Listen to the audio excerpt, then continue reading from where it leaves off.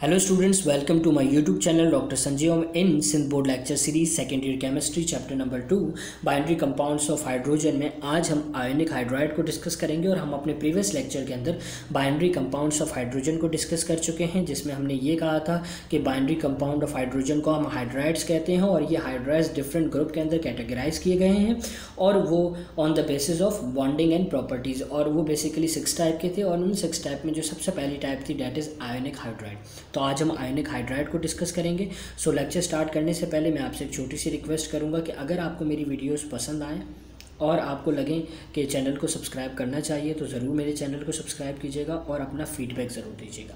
तो चलिए स्टार्ट करते हैं आयोनिक हाइड्राइड को। तो आयोनिक हाइड्राइड बेसिकली आपके पास ऐसे कंपाउंड्स होते हैं जो दो टाइप के एलिमेंट से मिलकर बनते हैं। मतलब एक तो उसमें हाइड्रोजन जो कि लाजमी है, और दूसरा जो उसमें एलिमेंट होगा, वो क्या होगा? वो group one A and group two A के एलिमेंट्स होंगे। मतलब क्या? Ionic hydrides are form by the metal of group one A and group two A लेकिन ग्रुप टू ए के अंदर दो ऐसे एलिमेंट हैं जो एक्सेप्ट उनके बगैर, उनके अलावा, जिसमें ब्रिलियम एंड मैग्नीशियम इन दो एलिमेंट्स के अलावा बाकी जितने भी एलिमेंट्स हैं ग्रुप वन ए के ग्रुप टू ए के, जब वो हाइड्रोजन के साथ बॉन्ड बनाएँगे और हाइड्रोजन के साथ बॉन्ड बना के जब वो कोई कंपाउंड बनाएँगे तो हम उनको क्या कहेंगे? वो है आयोनिक हाइड्राइड और इसी के साथ अगर हम बात करें जिस तरह आयोनिक हाइड्राइड में एक जो ग्रुप वन ए है और ग्रुप टू ए है तो group one A and two A both are metals ये दोनों मेटल्स हैं. तो हमारे पास क्या होगा कि जो भी कंपाउंड बनेगा उसमें एक मेटल होगा और एक हाइड्रोजन होगा। सो so, जो मेटल होगा वो इलेक्ट्रो पॉजिटिव होगा। इलेक्ट्रो पॉजिटिव का क्या मतलब? कि वो अपने ऊपर पॉजिटिव चार्ज रखता होगा और वो पॉजिटिव चार्ज क्यों रखेगा? क्योंकि वो इलेक्ट्रॉन को लूज करेगा। और सेकेंड जो एलिमेंट है डेट इज़ हाइड्रोजन और हाइड्रोजन किस तरह एक्ट करेगा? वो इलेक्ट्रोनेगेटिव एक्ट करेगा। क्यों? क्योंकि उसके ऊपर नेगेटिव चार्ज आएगा और वो एक इलेक्ट्रॉन को गेन करेगा। जैसे कि आप यहाँ देख सकते हैं कि मैंने लिखा है सोडियम हाइड्राइड तो सोडियम हाइड्राइड में एन के ऊपर पॉजिटिव चार्ज है हाइड्रोजन के ऊपर नेगेटिव चार्ज है।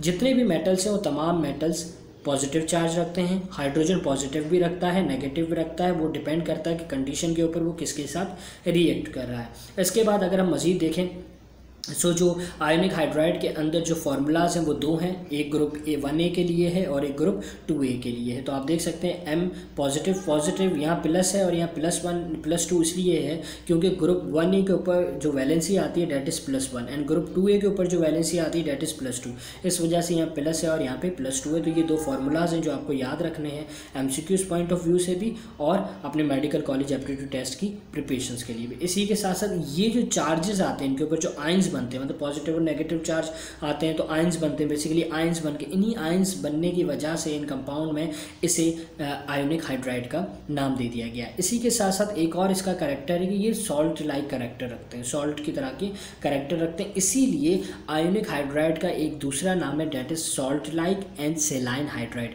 और ये आपके सिंध बोर्ड के एग्ज़ाम्स में भी ये पूछा जाता है कि आप जो है वो सेलाइन हाइड्राइड के ऊपर नोट लिखें या फिर आप आयोनिक हाइड्राइड का दूसरा नाम बताएँ तो ये यहाँ पे आपके पास शॉर्ट नोट के पॉइंट ऑफ़ व्यू से भी इंपॉर्टेंट है और एम पॉइंट ऑफ़ व्यू से भी इंपॉर्टेंट है। अब अगर हम प्रिपरेशन की तरफ़ आते हैं सो so, बेसिकली हाइड्रोजन जो आपके पास मौजूद है हाइड्रोजन के जो हाई हाइड्राइड्स मौजूद हैं आयोनिक हाइड्राइड्स मौजूद हैं, इनको आप डिफरेंट तरीक़ों से प्रिपेयर कर सकते हैं। जैसे कि अगर आप hold alkali metal and alkaline earth metal मतलब जो group one A and group two A आपके पास मौजूद है, इनको अगर आप रिएक्ट कर इसके इनके ऊपर अगर आप पास करते हैं हाइड्रोजन गैस ठीक है, इनके ऊपर अगर आप हाइड्रोजन गैस पास करते हैं in the presence of heat तो फिर क्या होगा कि वो हाइड्रो हाइड्राइड्स में कन्वर्ट हो जाएँगे। कैसे हो जाएँगे? आप देखें यहाँ पे आपके पास सोडियम है, ये एक मेटल है, और मेटल के साथ ये हाइड्रोजन गैस है, और हाइड्रोजन गैस के बाद हमने क्या दिया? उसे हीट दी और टू हंड्रेड सेंटीग्रेड टेम्परेचर दिया तो उसने क्या बना दिया?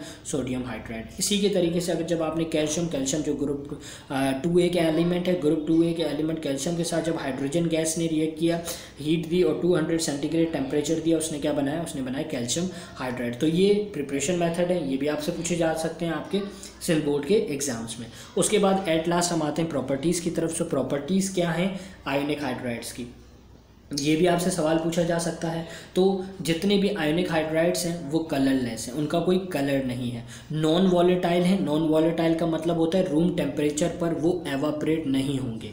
रूम टेम्परेचर पे वो एवापरेट नहीं होंगे और वो सॉल्ट लाइक हैं मतलब नमक की तरह है तो वो सॉलिड स्टेट रखते हैं। उनका मेल्टिंग पॉइंट ज़्यादा है और अगर हम बात करें नेक्स्ट चीज़ वो क्या है कि वो स्टेबल है toward the heat heat की तरफ़ वो ज़्यादा स्टेबल है क्योंकि उनका मेल्टिंग पॉइंट थोड़ा सा ज़्यादा है। और अगर हम बात करें इनकी स्टेबिलिटी की तो इनकी स्टेबिलिटी जो है वो इनक्री स्टेबिलिटी डिक्रीज़ होती है विद इंक्रीजिंग एटॉमिक मासेस अगर कोई एक एटम है, ठीक है, अगर मैं बात करूँ, जैसे कि अगर हम ग्रुप वन ए की बात करते हैं तो ग्रुप वन ए के अंदर पहले आता है हाइड्रोजन, लिथियम, सोडियम, पोटेशियम। तो अगर सोडियम जो है, वो उसकी जो स्टेबिलिटी होगी, वो ज़्यादा होगी एज़ कंपेयर टू पोटेशियम की, क्योंकि पोटेशियम का एटॉमिक मास ज़्यादा है। तो अगर जो पोटेशियम जो हाइड्राइड बनाएगा, उसकी जो स्टेबिलिटी होगी, वो कम होगी, क्योंकि उसका एटॉमिक मास ज़्यादा है। उसके बाद अगर मज़ीद देखें तो ये इनसॉल्यूबल है in organic solvent organic solvent का क्या मतलब होता है? क्लोरोफॉर्म ईथर वगैरह, या जितने भी थायल अल्कोहल हैं, इनके अंदर जब आप इनको ऐड करेंगे तो ये इसके अंदर इनसॉल्यूबल होंगे। लेकिन जब अगर इनको आप वाटर के अंदर सॉल्यूबल रखेंगे, करेंगे तो ये सॉल्यूबल हो जाएँगे डिजॉल्व हो जाएँगे।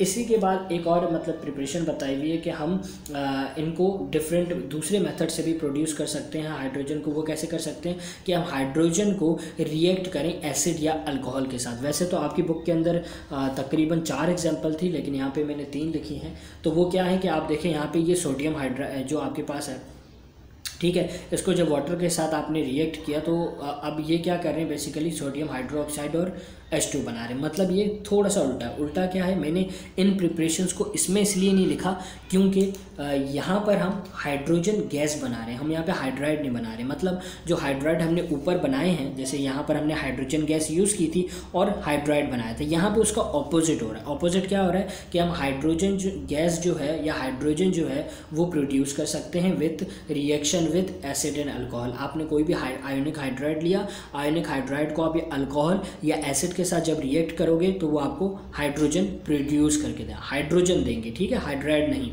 सो so, ये आपके पास एक हाइड्राइड मौजूद है। उस हाइड्राइड को आपने H2O के साथ रिएक्ट किया। अब H2O के साथ रिएक्ट किया तो आपको पता है H2O जो है इसको अगर मैं तोड़ दूँ तो इसके अंदर H और ओ एच होता है। तो O H basically alcohol group होता है। तो हाइड्राइड ने जब एच टू ओ के साथ रिएक्ट किया तो उसने sodium hydroxide and H two बनाया। तो आपके पास यहाँ क्या मिल गया? ये आपके पास हाइड्रोजन मिल गया।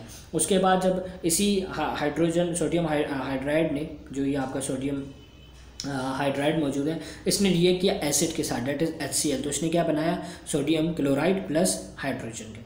उसके साथ अगर हम बात करें यहाँ पर कैल्शियम हाइड्राइड की तो इसने जब वाटर के साथ रिएक्ट किया तो आपके पास यहाँ पे ये डिफरेंट कंपाउंड्स बना कर दे दिए। इसके बाद जो एक बहुत ही इंपॉर्टेंट पॉइंट है वो ये है कि अगर इन रिएक्शंस को हम अगर हम देखते हैं सो so, ये रिएक्शंस बेसिकली हाइड्राइड जो हमारे पास ग्रुप वन ए के मौजूद है ना जिसे हम अल्कली मेटल कहते हैं जितने भी ग्रुप वन ए के हाइड्राइड्स हैं उनके साथ ये रिएक्शन विग्रेस होता है मतलब भरपूर होता है।